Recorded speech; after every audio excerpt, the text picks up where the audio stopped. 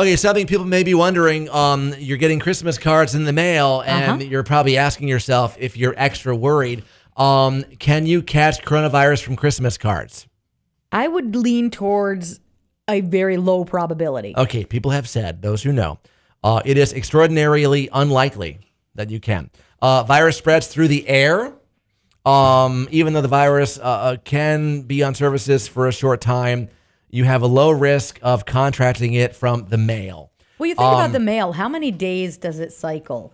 And then Um, it's too. in warm trucks, cold trucks. It's in and out of a variety of temperatures. So again, it's not. I can see why they'd say it's as a low probability, but not impossible. But you got to think about it. It's a, a lot of time between when Um, yeah. you send it and when it gets to someone. Back in the spring, the CDC said um, that the virus could survive uh, for a short period of time on some surfaces, but unlikely to spread from domestic or international mail, products, or packaging.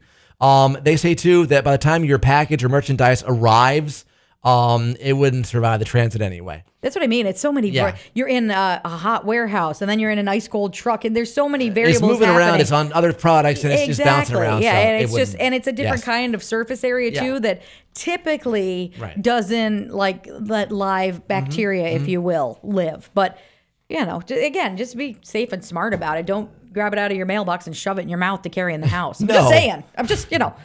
And You and- laugh, but you know and, what's happened. And don't lick the envelope where somebody else has had their tongue. More info about this right now: the Yes FM Facebook, Twitter at nine six seven Yes FM, and the Emergency Morning page Image I can never unsee. at Thank you. At yesfm.com.